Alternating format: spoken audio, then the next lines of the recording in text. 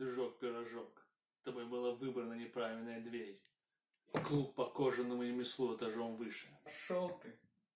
Пошел ты! Давай разберемся здесь и сейчас! А-а-а!